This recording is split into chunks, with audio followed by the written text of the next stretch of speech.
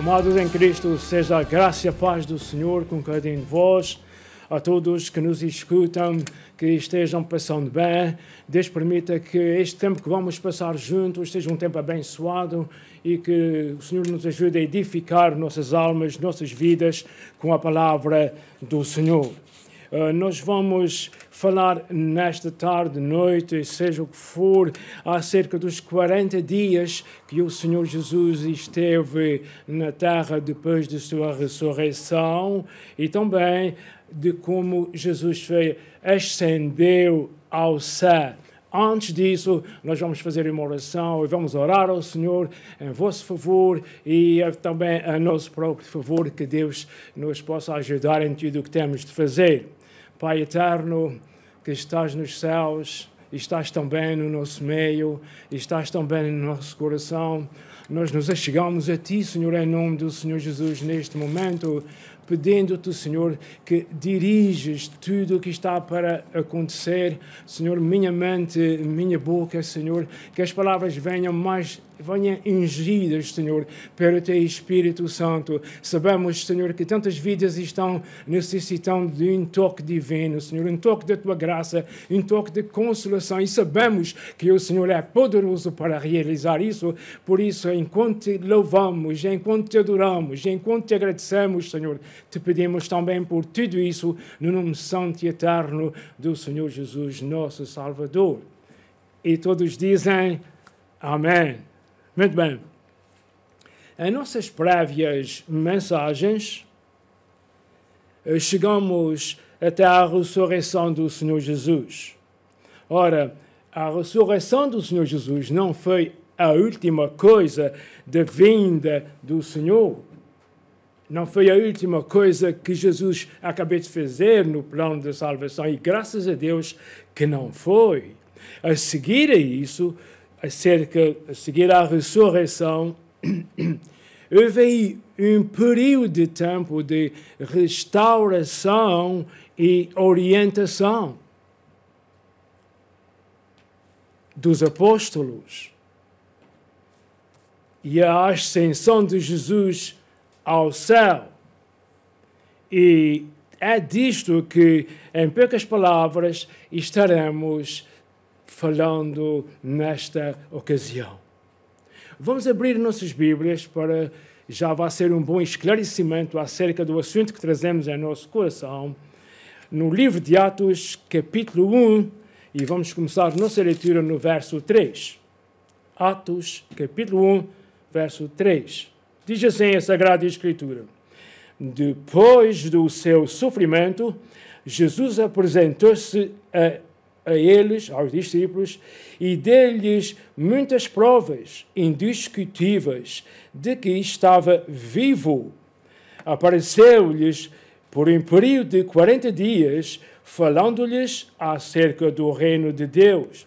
Certa ocasião, enquanto comia com eles, deu-lhes esta ordem: Não saiam de Jerusalém mas esperam pela promessa de meu Pai, da qual eu vos falei. Pois João, isto é, João Batista, batizou com água, mas dentro de poucos dias vocês serão batizados com o Espírito Santo. Verso 6. Então, os que estavam reunidos lhe perguntaram: Senhor, é neste tempo que vais restaurar o reino a Israel? Uh, Permita-me uma pequena explicação.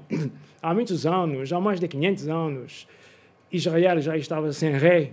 Eles não tinham rei. Nesse tempo estavam sendo dominados pelo Império Romano, por César. E eles estavam esperando que Jesus ia ser o rei dos reis, mas rei de Israel. Vai ser um dia, mas tem o seu dia certo, não era aquele tempo. Verso 7. Ele, Jesus, lhes respondeu: Não vos compete saber os tempos e as datas que o Pai estabeleceu pela sua própria autoridade, mas receberão poder quando o Espírito Santo descer sobre vocês, e serão minhas testemunhas em Jerusalém, em toda a Judeia, Samaria e até aos confins da terra. Tendo dito isso, foi elevado às alturas. Enquanto eles olhavam, e uma nuvem o encobriu da vista deles. E eles ficaram, os discípulos, ficaram com os olhos fixos no céu, enquanto Jesus subia.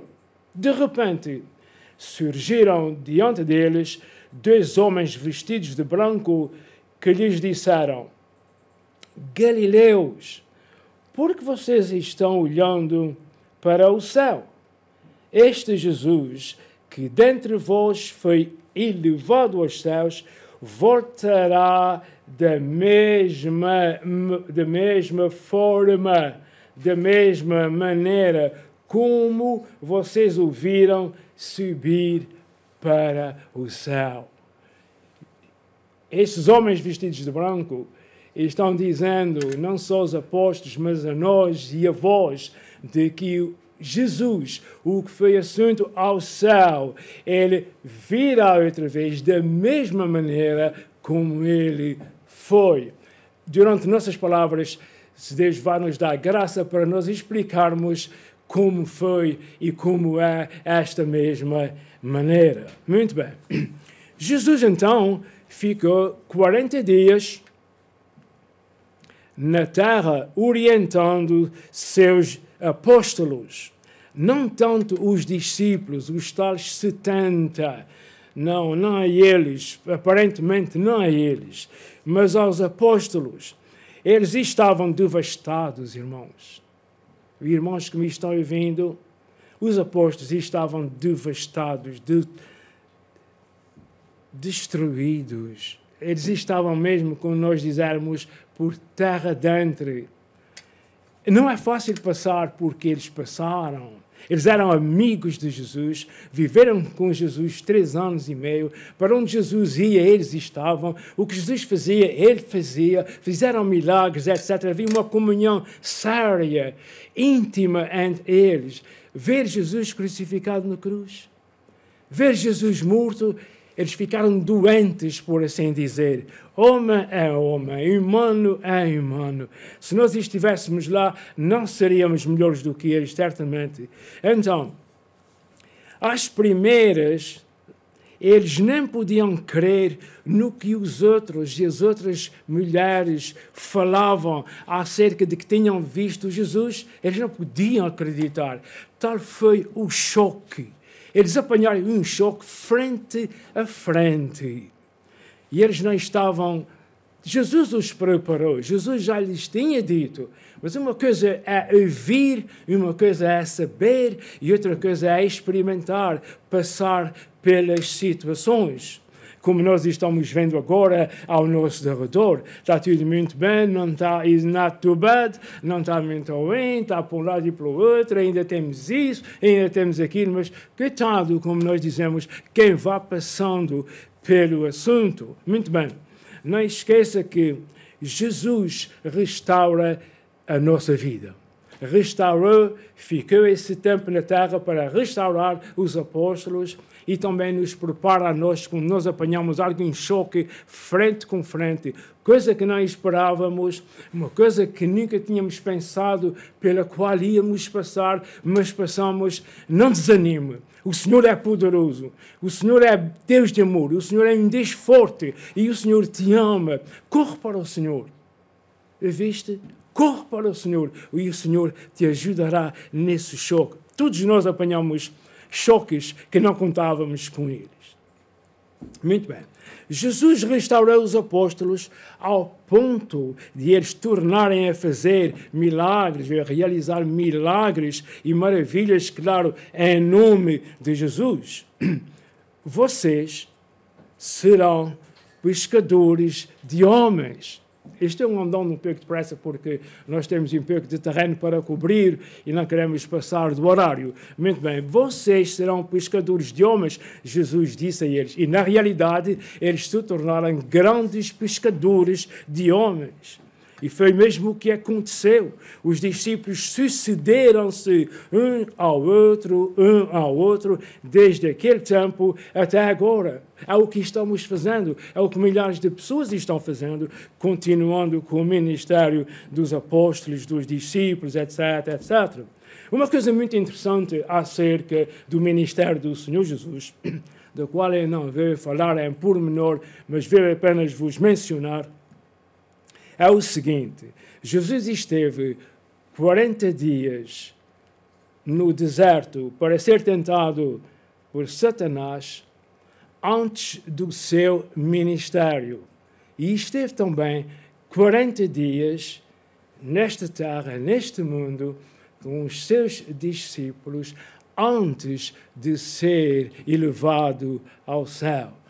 Parece que esses dois períodos de 40 dias têm alguma coisa bem significante para nós, mas seja como for, fique, por agora fica só assim. Ponto 2. O primeiro foi acerca de Jesus ficar os 40 dias na terra com os seus discípulos para os restaurar. Ponto 2.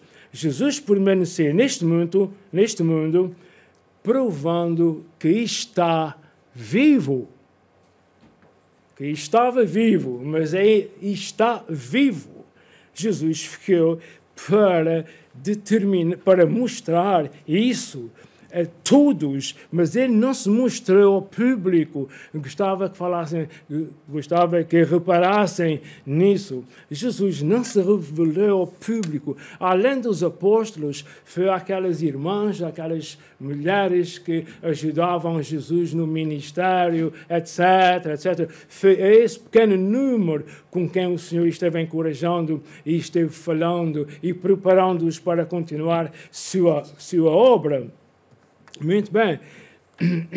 E, mas o Senhor, quando se, quando se revelou, foi com detalhes, foi detalhadamente como nós dizemos, como vemos na palavra de Deus. Escuta, escuta. Talvez se fosse algum de nós, quando era rapazinho, quando era jovenzinho, eu pensava nisso. Por que será que Jesus não foi à casa de Pilatos e dizer ele, é, homem, tu condenaste-me à morte, mas estou aqui agora vivo. Jesus não é assim. Deus é um Deus de amor. Jesus ama o pecador. Jesus ama o perdido. Jesus não queria por isso qualquer maneira, Jesus veio para esse assunto. Jesus não é vingativo. Lembre-se disso. Jesus não é Jesus não é nem negativo nem vingativo e nós também devemos ser o mais possível, o mais aproximado àquele caráter que Jesus é e tem. Muito bem.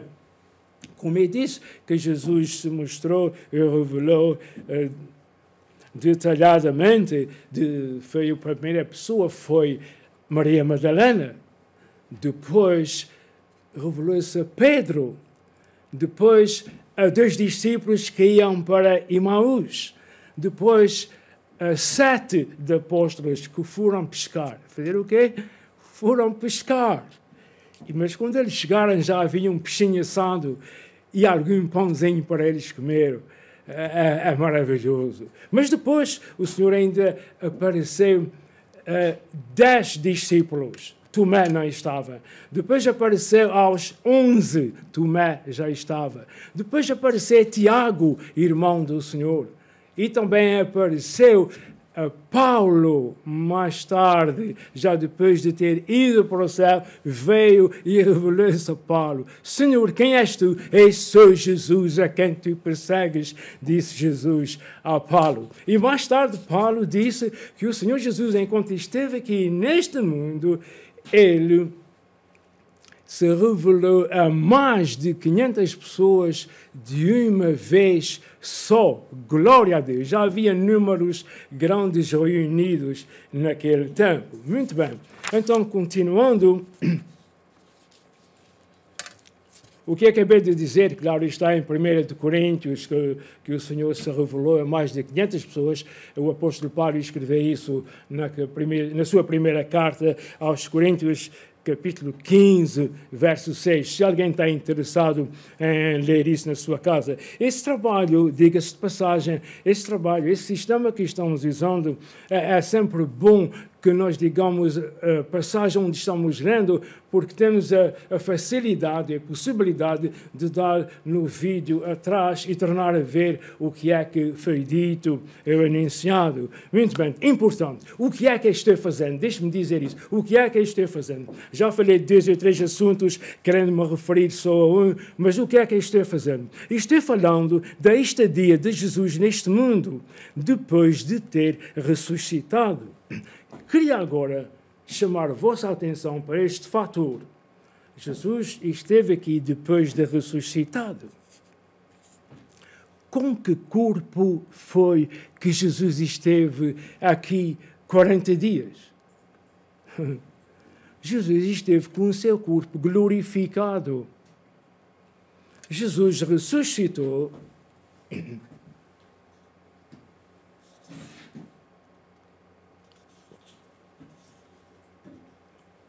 não ofereço porque é só água. Jesus ressuscitou com um corpo glorificado. Porque Jesus é as primícias. Deixe-me explicar isso. O corpo de Jesus é um, foi um corpo e é um corpo glorificado. Isso que é, quer dizer? Quer dizer, Jesus morreu com um corpo que nasceu da Virgem Maria. Um corpo tudo especial, mas humano. Mas quando Jesus ressuscitou, ressuscitou com o corpo glorificado, em glória. Isso o que é que quer dizer? É um corpo o qual a Igreja do Senhor Jesus vai ter também por ocasião do arrebatamento da Igreja. Por isso é que eu vos digo, já que temos essa oportunidade de vos falar, entregue o seu caminho ao Senhor, faça o necessário para também pertencer à Igreja do Senhor Jesus, porque coisas maravilhosas estão para acontecer depois dessa miséria que está começando a aparecer por aí. Coisas maravilhosas estão para acontecer. Quem sou eu para te influenciar? Mas espero que o Espírito do Senhor te influencie e te revele que breve Jesus voltará e a Igreja do Senhor, os que já morreram, vão ressuscitar com um corpo glorificado e os que estão vivos vão ser transformados num abrir e fechar de olhos. Transformados como? Daquilo que é perecível para aquilo que é imperecível, para aquilo que morre, que desfaz, para aquilo que jamais vai desfazer. Mas ouça, estava a chamar a vossa atenção para esse particular tão importante. Se der tempo, algum dia a gente fala mais no assunto é, é, essa questão do corpo glorificado é também para a igreja. Essa questão do corpo glorificado quer dizer que é um corpo que entra e sai. Há vários corpos. Leia 1 Coríntios capítulo 15, quando tiver tempo. Há corpo celestial, há corpo, há corpo celeste, há corpo terrestre ao corpo físico e ao corpo espiritual corpo espiritual. A palavra de Deus é maravilhosa e Deus tem coisas maravilhosas para o homem, porque Deus criou o homem à sua imagem e à sua, e à sua semelhança. O homem é muito mais importante do que a maioria dos homens pensam. Se todos pensassem na importância que tenha aos olhos de Deus, todos em massa se chegavam a Ele. Eu oro ao Senhor, sinceramente, para que esse, essa epidemia que está acontecendo sirva de alguma forma para receberem, para perceberem que Deus está falando aos nossos corações. Vamos continuar. Vamos ao terceiro ponto da nossa palavra nesta ocasião. É importante sabermos que enquanto Jesus está à destra de Deus no céu, porque ele foi eleito ao céu, ele voltou ao céu. Então, uma vez que ele está lá, ele está sentado à destra de Deus, no lado direito do Senhor nosso Deus. Enquanto isso, o Espírito Santo está aqui na terra, entre nós, dirigindo o trabalho de Deus, a Igreja de Jesus. A Igreja de Jesus não está abandonada, está sendo dirigida pelo Espírito Santo. Os servos de Deus que estão à frente das igrejas, etc, etc, etc são servos do Senhor. Compreenda isso. Oh, mas ele é humano como é, e ela também é humana como é, e eu lembro-me que ele disse isso, e aquele fez o outro. Isso não interessa. Os discípulos também fizeram alguma coisa que não devia ter feito, e o Senhor os restaurou. O Senhor usa homens e se tu conseguisses perceber isso, da maneira que tu és esperto, e alguns de vocês que eu conheço, tu davas o teu coração ao Senhor, Ele fazia de ti uma bênção. Isso que tu estás fazendo para alegrar os outros e, e, des, e alegrar os outros e distrair os outros, tu farias isso para a glória de Deus e para a edificação da própria igreja do Senhor Jesus. Já estou indo a 70 milhas a hora, porque quero terminar dentro de poucos minutos. Então, Jesus, o que nós lemos o que nós lemos na passagem é ver agora rapidamente só o verso 9 e o verso 11 para terminar nossa passagem de hoje. Na passagem que nós lemos em Atos 3, 11, é ver agora só o 9 e o 11 que diz assim: Tendo dito isso, Jesus foi elevado às alturas. Enquanto eles olhavam e uma nuvem o encobriu de vista deles, eles, os discípulos, ficaram com os olhos fixos no céu, enquanto Jesus subia. De repente, surgiram diante deles dois homens vestidos de branco que lhes disseram: Galileus, por que vocês estão olhando para o céu? Este Jesus, este mesmo Jesus, este mesmo Jesus que dentre vós foi elevado aos céus, ele voltará da mesma forma como o viram subir. Jesus foi em poder e glória para o céu. E Jesus voltará em poder e glória para vir buscar a sua igreja. E sete anos mais tarde, Jesus virá em poder e glória como Filho do Homem, como Rei dos Reis e como Senhor dos Senhores. Glória a Deus! Jesus é aquele para quem nós devemos olhar. Portanto, prezados amigos, prossigamos em seguir ao Senhor sem desfalecer, porque só com o Senhor é que nós vamos vencer as lutas da vida, tudo isso que está acontecendo e quem sabe mais do que tem para acontecer. Quero que fique sabendo uma coisa. Eu creio de todo o meu coração que o que está acontecendo ainda venha a passar e as coisas ficam mais ou menos no ser normal, mas isso não deixa de ser um aviso, eh, um grande aviso para todos nós, os que já estão preparados para ir com o Senhor e os que ainda não estão preparados, porque é o seguinte, é urgente que tudo aquele, e você dirá, mas tu não tens nada a ver comigo? Eu não sei. Eu não sei se tenho a ver contigo, se não tenho. O que sei é que deve cada um estar preparado para ir para o céu no arrebatamento da igreja, porque senão ele vai ver muita coisa parecidas e piores do que essas que estão acontecendo agora. Tudo isto está profetizado.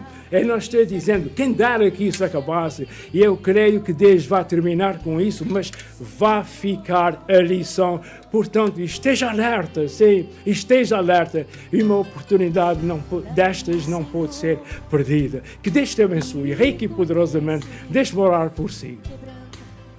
Pai eterno, nós te louvamos, nós engrandecemos, Senhor, porque temos visto que o Senhor é um Deus de Deus forte e de mão forte, Senhor. Com o mundo tu criaste, com o dedo criaste o mundo, com a tua mão tu tiraste o povo da terra do Egito, mas com o teu braço forte tu levantaste uma igreja para testificar de ti, para falar do teu nome e da tua salvação. Meu Senhor, eu só te rogo, meu Pai, fala esses corações, Senhor, salva almas para ti, chama-os ao teu redil, abençoa nossos pastores que estão trabalhando arduamente a fim de ganhar almas, de convencê-los, de mostrar o amor de Deus. Senhor, tudo isso nós entregamos ao teu cuidado, crendo e confiando que o Senhor é poderoso para realizar. Senhor, também agora neste momento, uma bênção especial para os nossos queridos irmãos com quem nós nos costumamos,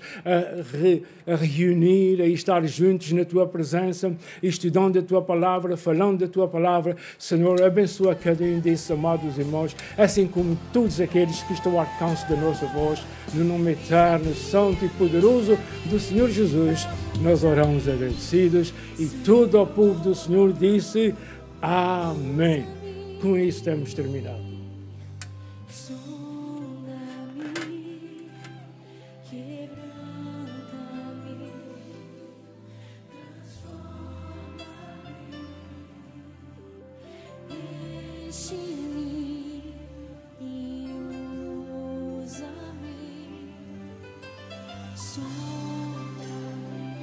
Sonda-me, Senhor.